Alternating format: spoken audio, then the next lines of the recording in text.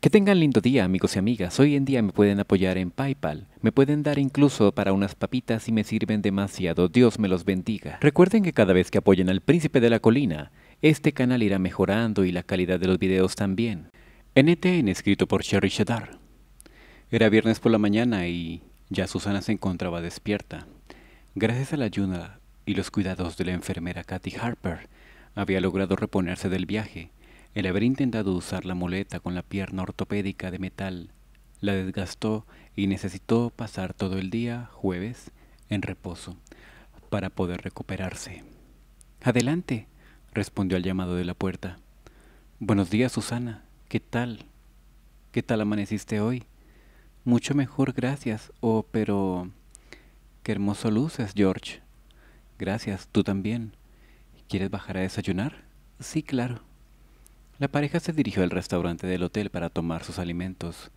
Después habían decidido que enviaría un mensajero a la mansión Andri, diciendo a Candy que Susana se encontraba en la ciudad de Chicago y que tenía intenciones de poder verse con ella e invitarla a que se entrevistaran en el hotel. Mientras esperaba una respuesta, daría un paseo por la ciudad. Mientras tanto, Candy tomaba su desayuno y hablaba con Gisela. Qué bueno que al fin hoy el doctor podrá quitarme la escalol, la escayola. La verdad que tiene buen aspecto al pie. Gracias por tus cuidados y las atenciones de Dorothy. Ha sido más llevadera esta convalecencia. Mm, este es delicioso.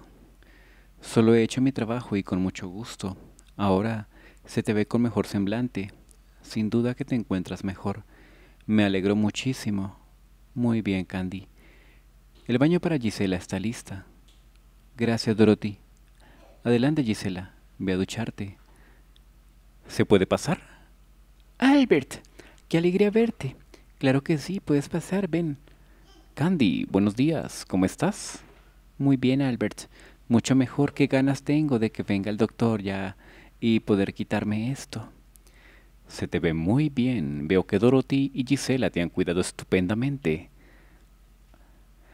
Oh, señor Albert, solo hago mi trabajo. Y sus mejillas se sonrojaron. Y lo has hecho de las mil maravillas, Dorothy. Gracias por cuidar también de Candy. A lo mejor que la morena se ruborizó más. Por cierto, ¿a qué hora estará el doctor aquí? Vendrá a las once, aunque tengo un par de horas para vestirme me parece estupendo. Bueno, iré a desayunar con la tía y regresaré cuando llegue el doctor. Quiero estar presente. ¿No tienes que ir a trabajar, Albert? Puedo darme la licencia de, de, llegar tarde el día de hoy. No puede ser posible que el doctor haya venido un par de veces y yo no haya podido estar nunca para saber cómo sigues de la pierna. De primera mano. Eh, está bien. Saluda a la tía de mi parte. Espero que podamos tomar el té en el salón y no aquí en mi habitación. Muero de ganas por salir de estas cuatro paredes. Lo sé, Candy. Siempre has gustado de ser libre. Pero tranquila. Ya queda, ya queda menos. Se despidió de las damas y se fue al lado de su tía. Buenos días. ¿Qué tal amaneció? Le saludaba a la vez que depositaba un beso en su mejilla. Buenos días, William. Muy bien, gracias por preguntar. ¿Has pasado a ver a Candy? Sí, tía, está mucho mejor. Le manda muchos saludos y buenos días. Está ansiosa porque el doctor llegue y le autorice salir de la alcoba. Hmm, es comprensible. la verdad que sí. No es una persona que le guste estar en la cama, tiene mucha energía. Por cierto, podré invitar a los Coleman para tomar el té esta tarde y celebrar la recuperación de Candy. Ella desea poder acompañarla a tomarlo en el salón. Está bien, William. Mandaré un mensajero a Annie Coleman que nos visite. Gracias, tía. ¿Por qué tardará tanto Archie? ¿No bajará a desayunar? El día de hoy se fue antes a la universidad. Dijo que tenía una presentación importante. Oh, comprendo. Buenos días, traigo el café y la correspondencia. Marta, ¿podrías decirle a Jaime que necesitaré que envíe un mensajero? Enseguida, señora. Gracias. Mientras tanto, en la residencia de los Ligan, la mocama se presenta ante su señora. Buenos días, señora. Aquí le traigo el desayuno, se anunciaba al entrar en el, en el aposento que estaba medio oscuras. Déjalo en la mesa. Déjalo en la mesita. Sara Ligan se encontraba en el diván que había de su habitación. Han sido unos días terribles desde que mi hija le había dicho que Mark le había forzado. Al día siguiente se presentó en la oficina para encararlo y fue cuando se enteró de que había sido llevado preso. Se dirigió a la delegación y cuando lo confrontó a él, no negó lo que había hecho. Le espetó que era su forma de vengarse por no haber ayudado cuando se lo dijo. Él le había advertido en varias ocasiones que si él caía arrastraría a ella también. Ahora tenía miedo de la forma en que podría proceder ese hombre y lo que haría cuando llegase su marido por la tarde. ¿Cómo sigue Elisa? Sigue negándose a comer, señora. ¿Se ha bebido las infusiones? Sí, señora. ¿Y Neil dónde está? ¿Sabe algo? El señorito Neil ya se marchó a trabajar. Estos días ha estado llegando tarde, cuando todos están dormidos. Retírate. La joven hizo una reverencia y la dejó sola. ¿Qué puedo hacer? ¿Qué puedo hacer? No puedo permitir que mi marido se vea con Mac Fisher. Pero eso no será fácil de impedir, porque son socios y lo que más temo realmente es que le pueda revelar ese encuentro. Caminaba como un león enjaulado llena de desesperación.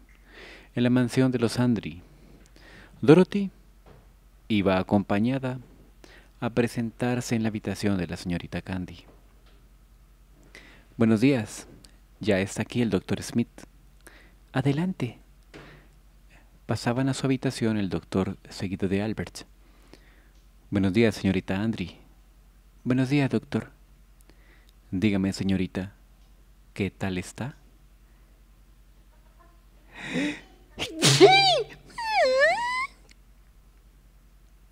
Ay. Bueno, es un estornudo mañanero, eso no es nada. Muy bien, voy a examinarla. El aspecto de la herida se ve muy bien. Ya no quedaba tantos rasgos de los moretones en el cuerpo.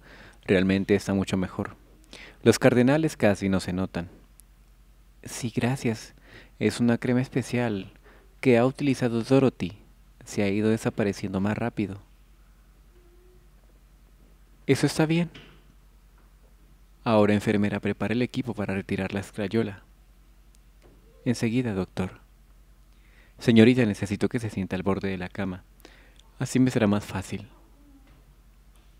Doctor, podría sentarse en ese taburete, estará más cómodo. Gracias. Se acomodó el médico frente de Candy. Puso su pierna en la rodilla de Gisela, le ofreció una venda con las tijeras y las pinzas para poder retirar el yeso. Lo hizo con destreza y cuidado. Comenzó a contar poco a poco. Él cortó. Minutos después caía el objeto al suelo. El aspecto del pie era mucho mejor. Estaba menos hinchado, aunque el morado en el tobillo, donde indicaba que había sido el doblez, aún permanecía pero era más pequeño, hizo unos movimientos para comprobar el estado de la lesión. La rubia hacía un gesto de dolor de vez en cuando. Muy bien. La inflamación se ha remitido muchísimo, pero aún necesita llevar inmovilizado el pie. Esta vez te pondré una venda elástica. Te será muy cómoda si podrás utilizar las muletas para desplazarte y no estar tanto tiempo encerrada. Eso sí, intenta no apoyarte mucho en él. Sí. ¿Cuánto tiempo más tendrá que llevarlo así, doctor? Deberá seguir una semana más con el pie movilizado para que los ligamentos se recuperen, pero sobre todo lo más recomendable es que no pase mucho tiempo de pie. Aún no es conveniente que camines. ¿Serán necesarias las inyecciones? No, ya no, pero las pastillas las tendrá que seguir tomando cada ocho horas si te llegase a doler más de lo normal o tolerable, toma estas cada seis horas. Entiendo. Estaba aliviada de que al menos esta vez no necesitase las inyecciones y podría desplazarse fuera de su habitación. Veía las manos firmes, el médico dar vuelta alrededor de su pie para colocar el vendaje, los broches mariposa para fijarlo y volver a darle... Él le iba a dejar el pie sobre la cama. Gracias, doctor Smith. Gracias a usted, señorita. Muy bien, eso es todo. Nos veremos en tres días. Se lava sus manos en la jofaina. Gracias, doctor. Doctor, muchísimas gracias. Si me acompaña al despacho y yo podré liquidar sus honorarios. Claro. Hasta luego, señorita Andri, enfermera. Y ambos hombres salieron del lugar. El hermoso edificio de color rojizo resplandecía con los rayos del sol, dándole ese aire solemne. El jardín que lo bordeaba estaba bien cuidado, unos árboles frondosos proyectaban sombra a los estudiantes que se encontraban bajo su tronco para estudiar. El aire era agradable y movía los cabellos de la melena castaña rojiza que seguía el camino de piedra hacia la entrada. Hola, Gloria. Archie, qué sorpresa. ¿Ya terminó su presentación? Sí y te puedo asegurar que lo he abordado. Estoy tan contento, quiero celebrarlo. ¿Me acompañas a almorzar? Quiero compensarte por tu ayuda. Mm. Le cayó ella. El joven está tan eufórico que hablaba fuerte en un lugar tan sereno. Estás exultante, muy bien. Te veo en la entrada del comedor del campus en media hora. De ninguna manera, señorita, no vamos a comer ahí. Esta es una ocasión excepcional, así que deseo llevarte a un restaurante de tagliatella. Pero Archie, yo no estoy vestida adecuadamente para ir a un lugar como ese.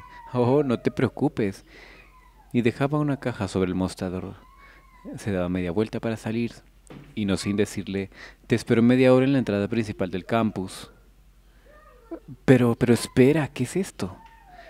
Pero el joven ya no le dijo más, pues ya había cruzado el umbral. Curiosa, abre la caja frente de sí y su sorpresa fue mayor al descubrir un hermoso vestido.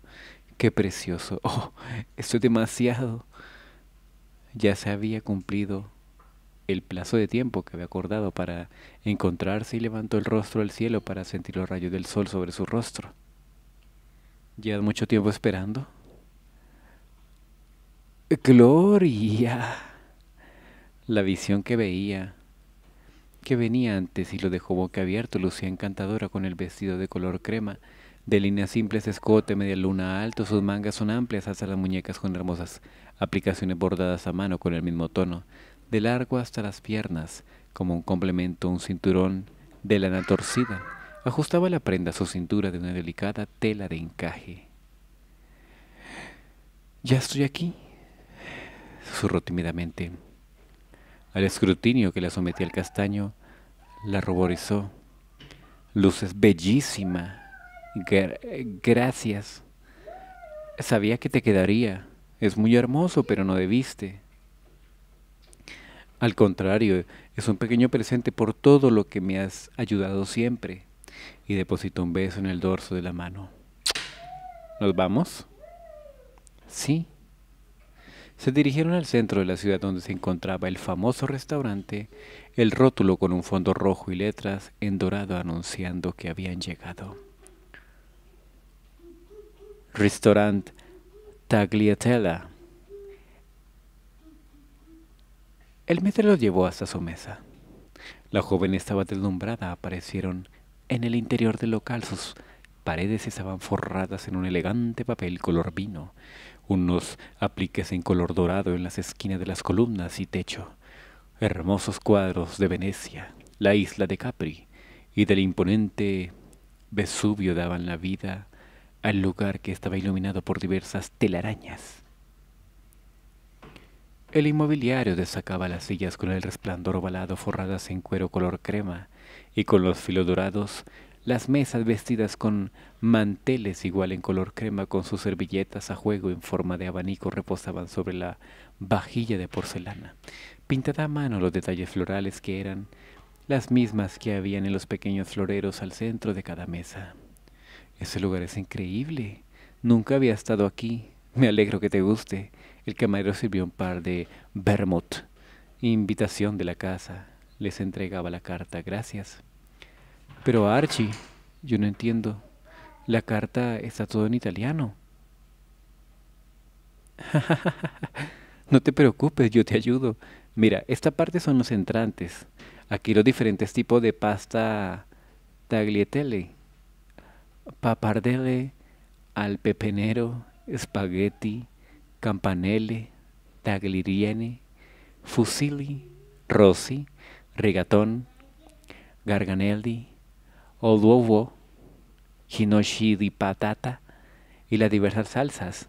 También ensaladas afumicata, basilico caprese, cremoso di rulo di capra, nola. Espera, espera, espera, espera, espera, espera. A este paso no voy a entrenar. Yo no me enteraré nada. sí, si quiere, este lo vuelvo a repetir. Eh, eh, no, mejor. Bueno, pues a mí me gustaría la de las gominolas. Eh, mejor pídeme por mí. Me dejo en tus manos. ¿Estás segura? A no ser que sepas cómo enseñarme italiano en un abrir y cerrar de ojos, no sabría qué es lo que se estoy pidiendo. Yo me conformaría con una sopa de caracol. ¡Sopa de caracol! ¡Hey! Sopa de caracol. ¡Hey! Ni sabría decírselo al camarero. Rea nerviosa. Está bien. ¿Qué te parece si de entre te pido cuore di tomini, que es hojaldre relleno de queso tomino, embutido guanciale nueces y manzana caramelizadas y fe fruta di podomoro. Suena bien. No sé qué es, pero está bien. Camarero.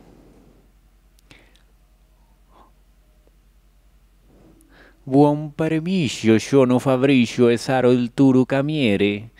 Buenas tardes, soy Fabricio y seré su camarero. Dios mío. ¿Ya saben lo que desean pedir? Sí. Este señor se parece a Mario Bros. Y se le hizo saber la elección de platillos de antipasti cuore di domini, di prima raviolino nero di sepia, di secondo corso raguantico, e davvero vino rosso. De acuerdo, portero, angli antipastini. Grazie, dijo Archie.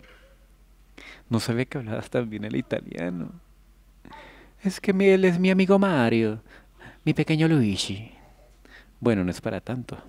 En el instituto nos obligaron a aprender idiomas leyendo obras de Giuseppe Ingaretti, Giuseppe Carducci, Paul Verlaine, Charles Baudelaire y otros más que no recuerdo. Oh, no te imaginaba que fuese de tu agrado leer poesía. Bueno, no es que fuese de mi agrado, pero las monjas al final lograron ser muy convincentes. Siguieron con su charla amena, disfrutando de los deliciosos platillos. Mi querido amiguini, ¿qué te pasa, Lavastini? ¿Tú quieres que te ponga unos mi sigiru mi affirmi frianci Mario Broche, Stare Ongitis. Prepáremele una cosa espectacular a la, a la, a bueno, eso está diciendo mesero que estaba por el otro lado con otro cliente, que aparentaba hablar en, en el idioma adecuado. Como la ven? En la mansión de los Ligan, Elisa estaba desanimada, se sentía miserable. Por la noche se despertaba aterrada reviviendo los hechos del despacho. Las infusiones de hierbas amargas le tenían deshecha, simplemente terminaba con dolor abdominal y vomitando. Elisa, levántate. Irrumpía en la habitación su madre sin pedir permiso. Se acercó a los ventanales y corrió grandes cortinas. De esta tarde tenemos visitas. Déjame sola. Arriba no pienso consentir que te dejes caer en la miseria. Vístete y cambia esa cara. Seguía hablando a la vez que rebuscaba entre sus ropas. Necesitas parecer lo más bella para cautivar a este hombre. Haré lo que sea para que te cases con él. ¿De qué estás hablando? La señora Alice de Rodríguez y su marido nos acompañarán a comer. Es un acto especial, pues vienen con su primo Juan de la Cruz, Rodríguez de Camaño, varón de la casa de Camaño, Osores. No me interesa. Claro que sí. Le tiró fuerte de la muñeca para que entendiera. Escúchame bien, Elisa. Te vas a comportar lo más inocente y cándidamente posible. Harás que se fije en ti, con suerte caerá rendido en tus encantos, y te pedirá la mano en matrimonio. Seguirás mis órdenes tal cual te lo digo. Si no quieres que se den cuenta de tu deshonra, y te quedes solterona para toda la vida, suéltame. Me tienes sin cuidado lo que dices. Me importa muy, muy poco lo que pienses, pero harás lo que yo te ordeno. No permitiré que por Furcia ensucias el apellido Ligan. ¿Ah, sí? ¿Tan limpio como lo tienes tú con el señor Fitcher? ¿Ah, qué? Una, una bofetada en su cara le espabiló. No te consiento que hables así. Ahora levántate. Doris te ayudará en tu arreglo. Diciendo esto, dejó a los jóvenes para que se pusieran manos a la obra. La mesa estaba montada en la cubierta de plata y porcelana damasco para ocasiones especiales. Los invitados llegarían de un momento a otro. En ese instante Elisa aparecía en el salón ya arreglada con su hermoso vestido rojo y los cabellos en bucles. La mucama había maquillado para disimular las ojeras, acentuando la mirada con delineador negro y un labial rojo para volverlos apetecibles. Has quedado bien entonces que una voz masculina se dejó escuchar. Buenas tardes. Iba llegando el padre de la joven. Papá, corrió los brazos de su progenitor, inundando sus ojos con lágrimas. Quería que la protegiera como cuando era pequeña. Querido, qué bueno que llegas, bienvenido. Me alegra verte. Luces hermosa, hija. Compórtate, estropeas tu maquillaje. Papito, papito lindo, qué bueno que llegaste. ¿Qué pasa, querida? ¿Por qué lloras? de la felicidad por verte, porque si no, querido, debes ir a cambiarte pronto. Los señores Rodríguez vendrán a comer con nosotros. ¿Rodríguez? He decidido dar una recepción íntima a su primo que viene de España. Entiendo. Pensé que podría descansar del viaje, pero me gustaría saludar a mi amigo Rodríguez. Me hace mucho que no le veo. ¿Ya tienes lista la muda de ropa? Te esperamos. Ahora regreso, pequeña. Depositó un beso en la cabeza de su hija y se soltó de su abrazo. Subió los escalones para ir a su alcoba, a ducharse rápidamente. Escúchame bien, Elisa, más vale que te comportes. No pienses que puedes contarle a tu padre lo que ha pasado. ¿Acaso quieres hacerle sufrir con semejante suceso? No, decía, sorbiendo sus lágrimas. Ahora serénate, sé una niña obediente. Ve a retocarte el maquillaje y sonríe, que no estamos en un funeral. Luego de unos minutos llegan a su coche los señores Rodríguez y la señora Ligan los recibía. Bienvenidos, es un placer tenerlos en nuestro hogar. Sara, querida, te ves encantadora. Gracias, querida, tú también luces preciosa. No me digas que es la pequeña Elisa, cuánto tiempo tenía de no verla. Buenos días, bueno, tardes, señora Rodríguez. Tan bella, tan educada. Felicidades, Sara. Has de sentirte orgullosa de ella. No sabes cuánto. Buenas tardes, Sara, Elisa. Qué gusto verla de nuevo. Buenas tardes, querido. Permítame presentarles a mi primo Juan de la Cruz Rodríguez. Es un gusto conocerles, decía dándoles un beso en cada mejilla de las damas. El placer es nuestro, yo soy Sara Ligan y ella es mi hija Elisa Ligan. Mucho gusto, señorita. Igualmente, el hombre ante ella tendría casi los cuarenta años, aunque de buen aspecto, cabellos castaños claros, ojos color miel y una nariz aguileña. Vestía un traje azul. Es un carcamal. Se quejaba para sus adentros. También tengo un hijo que ahora mismo no se encuentra. Mi marido bajará de un momento a otro si gustan pasar al salón a tomar aperitivos mientras esperamos. Por supuesto, qué pena que Neil no esté aquí. Buenas tardes. Se presentó el señor de la casa a los invitados. Ligan, ¿cuánto tiempo? ¿Cómo van los negocios? Oh, por favor, cariño, no te pondrá a hablar de trabajo ahora. Deja eso de lado, al menos por hoy. Querida, está bien, te complaceré. Mocama. Señora, la comida está lista. Muy bien, pasemos al comedor. Se agarró del brazo de su marido para dirigirse al comedor. Este gesto que también repitió la señora Rodríguez con su marido, obligando a Elisa a aceptar el brazo que le ofrecía Juan. Es usted encantadora, permítame escoltarla hasta el comedor. Muy amable de su parte, señor Rodríguez. Por favor, llámeme Juan. Él de acuerdo, gracias, Juan. Disfrutaron de una deliciosa comida, patatas asadas, pato a la naranja, verduras salteadas, chuleta de cerdo y de prostre pastel de manzana. Al terminar los hombres se fueron a fumar y beber licor, mientras las damas estaban en el salón bebiendo té hasta que los hombres se le unieron nuevamente. ¿Por qué no nos deleitas tocando el piano? Sí, mamá, obedeció la joven tímidamente, se sentó al frente del órgano y comenzó a tocar una melodía para agradar a los presentes. Su madre se sentía orgullosa por la destreza con la que ejecutaba las notas, los señores Rodríguez la admiraban, y un par de ojos color miel se encandilaba ante la esbelta figura que se proyectaba esa bella mujer. En la mansión de los Andri la familia también había recibido visitas para celebrar que Candy estaba recuperándose gratamente. Buenos días, señora Elroyd.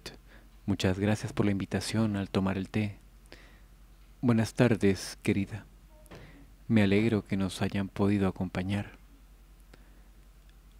Buenas tardes, Colette. Qué gusto verte. Candy, guapísima, me alegro que me alegro ver que estés mejor. Ha sido una tristeza para mí que no hayas podido visitarme estos días. Lamento mucho no haber podido ir a atender tu invitación, pero mírame, ya estoy mejor. Sí se nota, es una gran alegría. Buenas tardes, Candy. Qué bueno verte recuperada, querida. ¿No se te olvida algo? Oh, sí. Qué torpe, qué torpe de mi parte. Candy, aquí traigo el encargo especial que me dices. Es un detalle por mi parte en agradecimiento el haber aceptado ser mi modelo. Muchas gracias, Colette.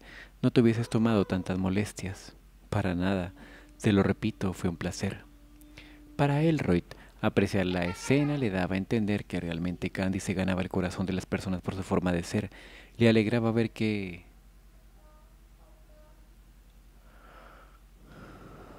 Era muy parecida a los demás. Era apreciada por todos. Se arrepentía por todo el tiempo que había perdido alejándose de ella. Disfrutaron de la agradable compañía de los esposos Coleman y de una rica taza de té con pastas pero los señores se marcharon pronto, pues debían hacer preparativos. Tenían pensado dentro de poco hacer un viaje a Europa. Muchas gracias por todo y por haber venido. Muchas gracias a ustedes por la invitación. Espero verle antes de marcharnos. Claro que sí, cuenta con ello. Hasta luego, Candy. Fue un placer disfrutar de tu compañía. Señora Elroyd, un gusto saludarla. Espero verla pronto. Gracias a ustedes. Que vayan bien. Se retiraron los esposos y Emilia Elroy subió a la habitación a descansar antes de la hora de la cena. Candy decidió quedarse un momento más en el salón mientras le daba vueltas al papel que tenía en sus manos en esa mañana. Le había llegado un mensajero y había entregado esa carta de parte de Susana Marlowe. Aún no podía, no la había abierto porque temía lo que le podría decir hasta que fue interrumpida en su meditación por el mayordomo anunciando la visita de sus amigas Patty y Annie. Mientras tanto, la tía Elroy se subió a la habitación, ustedes saben que eso fue lo que pasó. Y ella se acostó en la cama, así muy pesada con el cuerpo ceboto, así miró hacia el techo y dijo, hmm, me duelen los juanetes. Necesito que alguien me haga un masaje en los pies. Hola Candy, ¿cómo te encuentras? dijo Patty. Hola Patty, bien, gracias. Candy, qué bien se te ve, dijo Annie. Hola Annie, gracias por venir que me cuentan de nuevo. Pues nos alegramos mucho de verte mejor y ya que puedas salir de la habitación. Dijo Patty. Dijo Annie, sí, sabemos que no te gusta estar sin hacer nada. Gracias chicas por la paciencia que habéis tenido. No tienes por qué, pero Candy, hay algo que me gustaría poder hablar contigo, dijo Annie. Tú dirás, Annie, ¿qué sucede? dijo Candy. Candy, por favor, aléjate de Archie, no quiero perderlo. Sus ojos se nublaron por las lágrimas. Prometiste no quitarme a Archie, sé muy bien que él gusta de ti. ¿Cómo?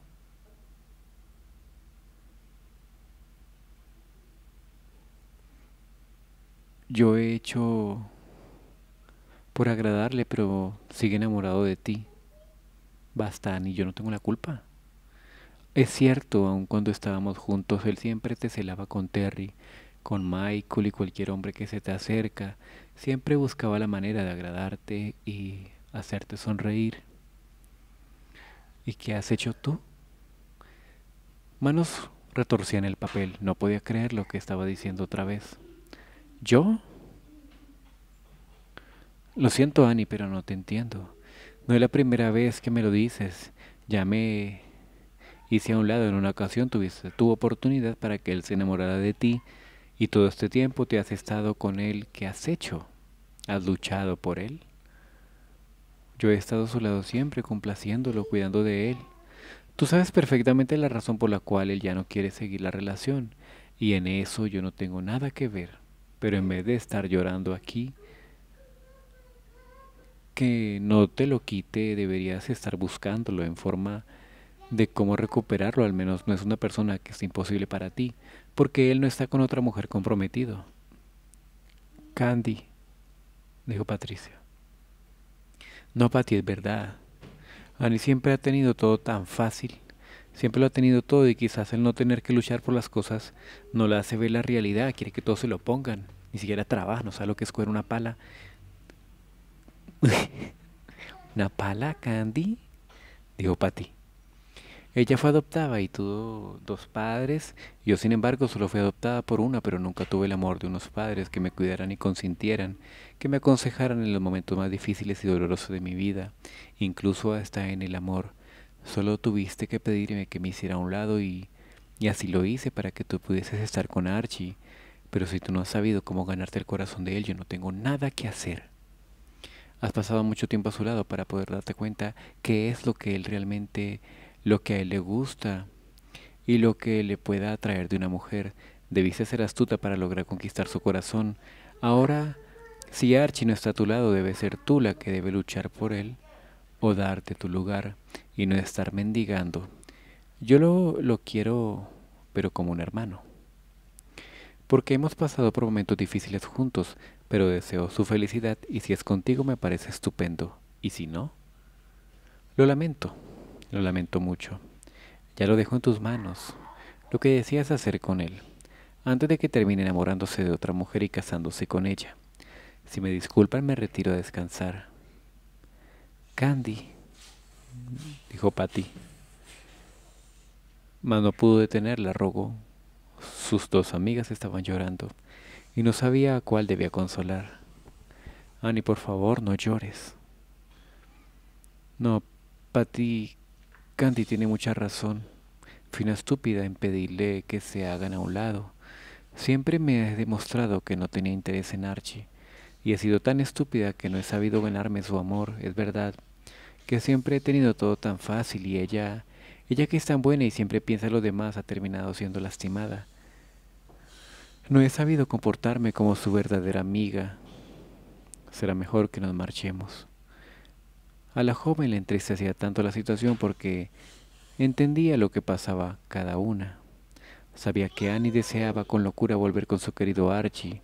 A Candy le dolió que ella desconfiara de tal manera, cuando sabía perfectamente que aún seguía enamorada de Terry y que ella sí ha sufrido por su amor, por él, porque había terminado perdiéndole para siempre.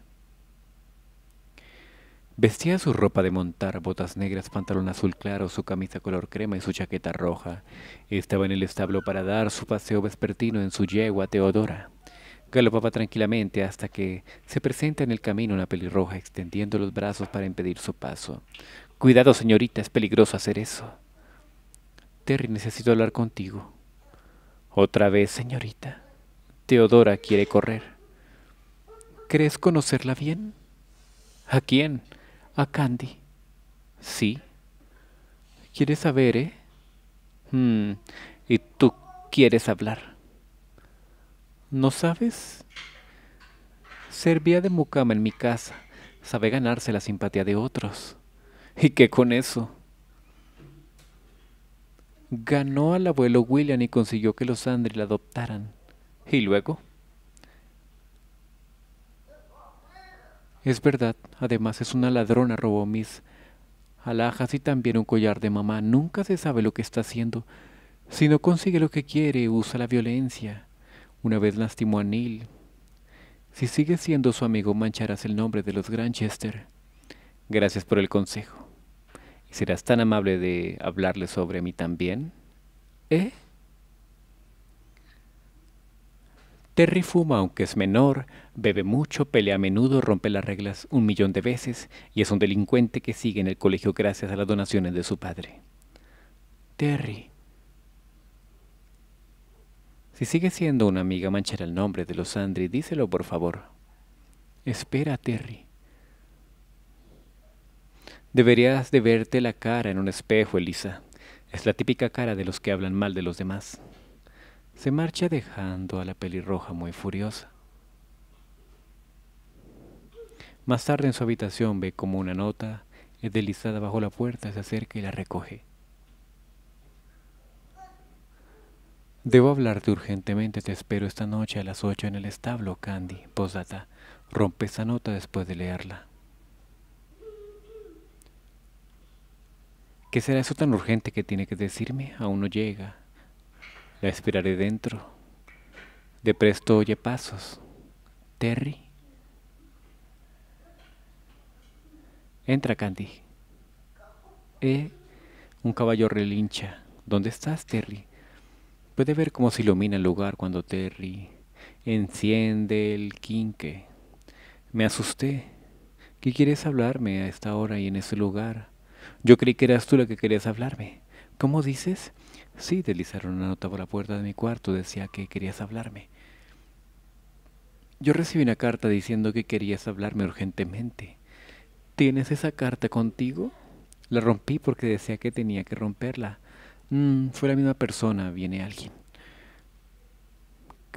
Hmm. ¿Qué hacen aquí?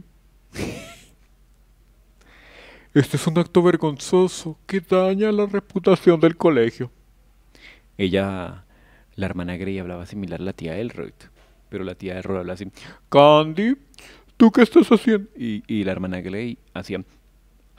¿Ustedes qué? Así, o sea, un poquito más con poquito más de elevación en el tono, en el timbre.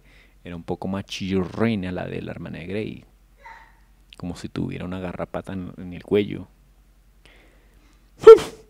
Ustedes que hacen aquí es un acto vergonzoso que daña la reputación del colegio. Usted no entiende, hermana Elisa, tú. Entonces era cierto que se encuentran todas las noches en el establo. Es una sucia trampa.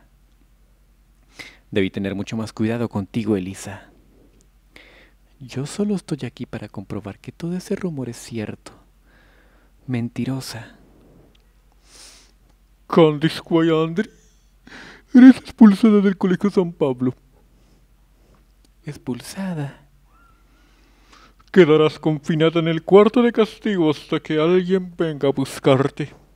Llévensela, guardias.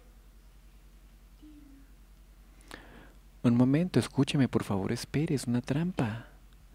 Una trampa, Terry.